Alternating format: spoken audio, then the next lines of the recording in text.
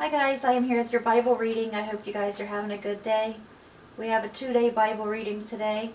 We'll be reading Revelation chapter 2, verses 1 through the end, and then we'll be reading chapter 3 to verse 6.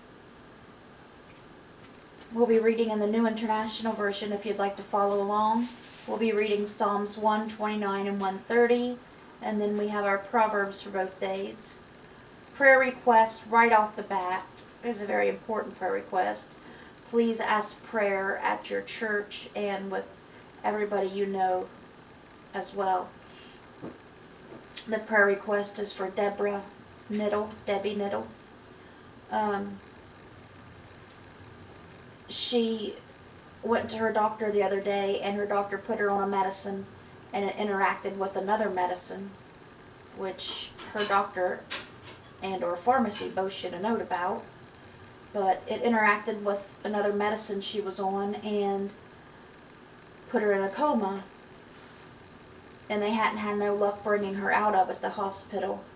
And they tried to bring her out of it again the other day and she was able to say a few words, but then she went right back into the coma again.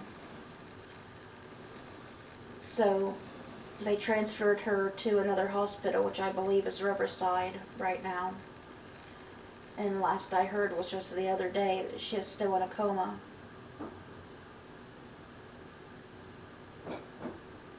My cousin's wife is Debbie's daughter. So please keep her in your prayers and her family. Because she really needs them. So, Sherm, are you going to follow along? Alright. Alright, guys, so let's begin.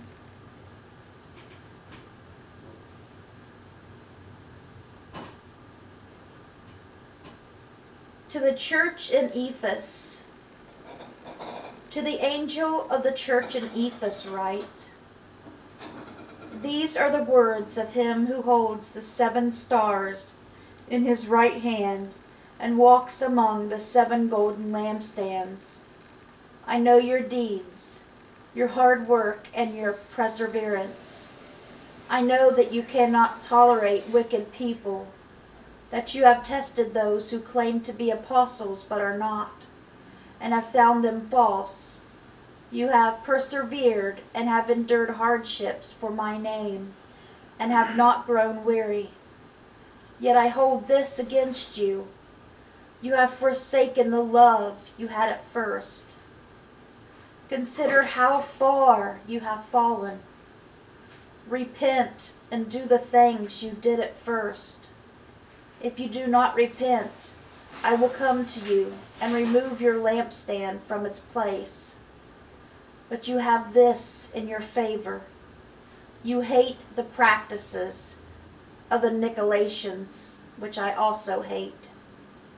Whoever has ears, let them hear what the Spirit says to the churches. To the one who is victorious, I will give the right to eat from the tree of life, which is in the paradise of God. To the church in Smyrna, to the church, to the angel of the church in Smyrna write, These are the words of him who is the first and the last, who died and came to life again. I know your afflictions and your poverty yet you are rich. I know about the slander of those who say they are Jews and are not, but are a synagogue of Satan. Do not be afraid of what you are about to suffer. I tell you, the devil will put some of you in prison to test you, and you will suffer persecution for ten days. Be faithful, even to the point of death and I will give you life as your victor's crown. Whoever has ears, let them hear what the Spirit says to the churches. The one who is victorious will not be hurt at all by the second death. To the church in Pergamum, to the angel of the church in Pergamum write, These are the words of him who has the sharp, double-edged sword. I know where you live, where Satan has his throne. Yet you remain true to my name. You did not renounce your faith in me, not even in the days of Antipas, my faithful witness who was put to death in your city where Satan lives. Nevertheless, I have a few things against you. There are some among you who hold to the teaching of Balaam, who taught Balak to entice the Israelites to sin, so that they ate food sacrificed to idols and committed sexual immorality. Likewise, you also have those who hold to the teaching of the Nicolaitans. Repent therefore, otherwise I will soon come to you and will fight against them with the sword of my mouth. Whoever has ears, let them hear what the Spirit says to the churches. To the one who is victorious, I will give some of the hidden manna. I will also give that person a white stone with a new name written on it known only to the one who receives it. To the church in Thyatira, to the angel of the church in Thyatira write, These are the words of the Son of God, whose eyes are like blazing fire, and whose feet are like burnished bronze.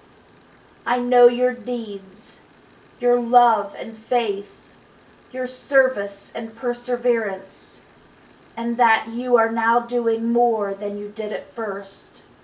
Nevertheless, I have this against you. You tolerate that woman Jezebel, who calls herself a prophet. By her teaching, she misleads my servants into sexual immorality and the eating of food sacrificed to idols. I have given her time to repent of her immorality, but she is unwilling. So I will cast her on a bed of suffering, and I will make those who commit adultery with her suffer intensely, unless they repent of her ways. I will strike her children dead. Then all the churches will know that I am he who searches hearts and minds, and I will repay each of you according to your deeds. Now I say to the rest of you in Thyatira, to you who do not hold to her teaching, and have not learned Satan's so-called deep secrets, I will not impose any other burden on you, except to hold on to what you have until I come to the one who is victorious and does my will to the end. I will give authority over the nations. That one will rule them with an iron scepter and will dash them to pieces like pottery. Just as I have received authority from my Father, I will also give that one the morning star. Whoever has ears, let them hear what the Spirit says to the churches. to the church in Sardis. To the angel of the church in Sardis write, These are the words of him who holds the seven spirits of God and the seven stars. I know your deeds. You have a reputation of being alive, but you are dead. Wake up.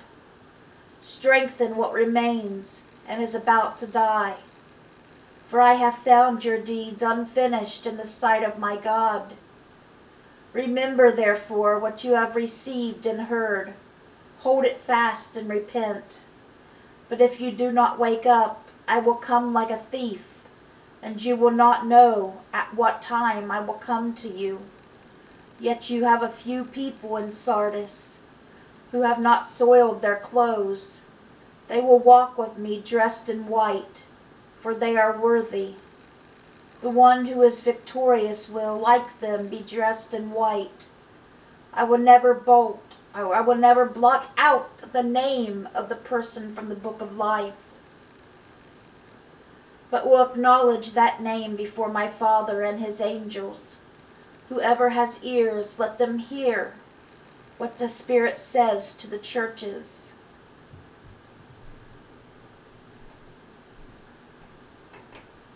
And that is where we're going to stop with the book of Revelation today.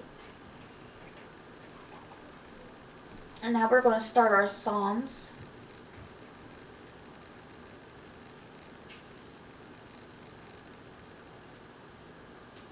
Our psalm for yesterday, Psalm 129, a song of ascents.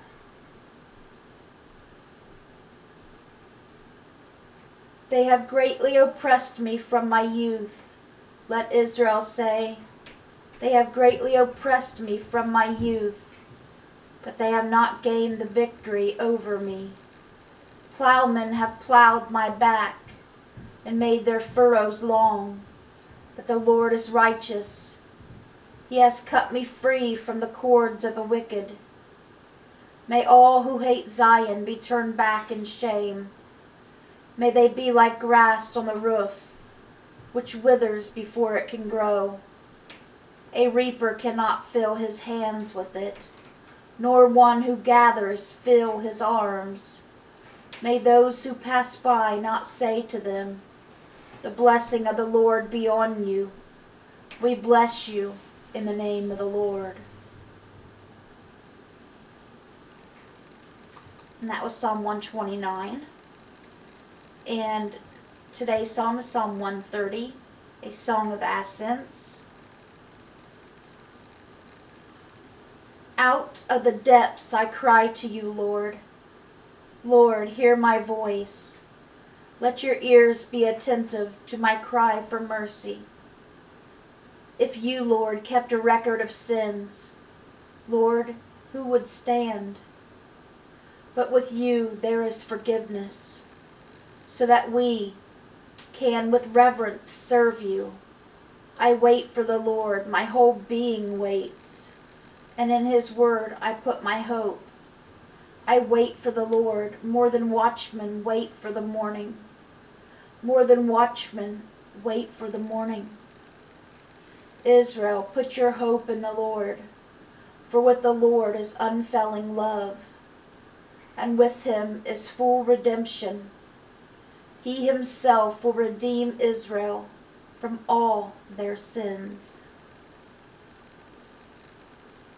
And that was today's psalm. That was Psalm 130. And now we're going to do our Proverbs for yesterday and today. And that will be Proverbs chapter 29, verses 19 through 22. That's all of them for both days. Servants cannot be corrected by mere words. Though they understand, they will not respond. Do you see someone who speaks in haste? There is more hope for a fool than for them. A servant pampered from youth will turn out to be insolent.